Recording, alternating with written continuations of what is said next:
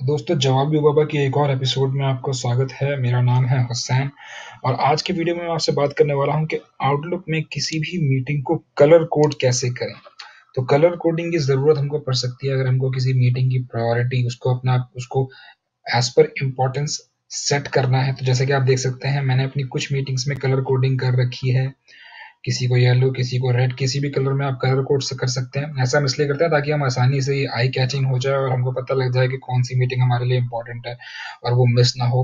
Accordingly as per the priority हम colour coding कर सकते हैं येलो रेड तो अब मैं आपको जल्दी से बताता हूँ कि ऐसा कैसे करते हैं। जैसे कि आप देख सकते हैं, यहाँ पर मेरे पास कुछ मीटिंग्स हैं, एक कैंसिल मीटिंग है, इसको मैं डबल क्लिक करूँगा।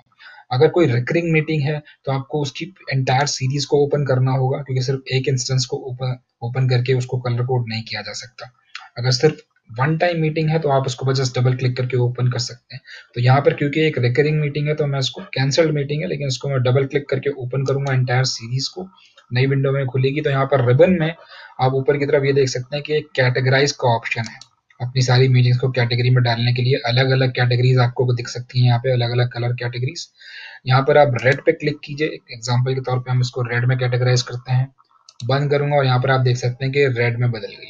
तो इस हिसाब से आप, आप किसी भी सीरीज़ मीटिंग सीरीज़ को खोल के कोई सी भी कलर कैटेगरी में उसको डाल सकते हैं और वो उसी कलर में आपको फिर दिखने लग जाएगी।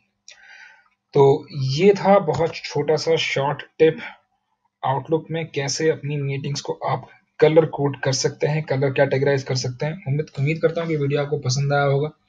अगर पसंद आया तो लाइक भी कर दीजिए सब्सक्राइब भी कर दीजिए, क्योंकि मैं इस तरीके के वीडियोज़ आपके लिए बनाता रहता हूँ। फ़िलहाल के लिए इतना ही, अपना ख्याल रखिए, शुक्रिया।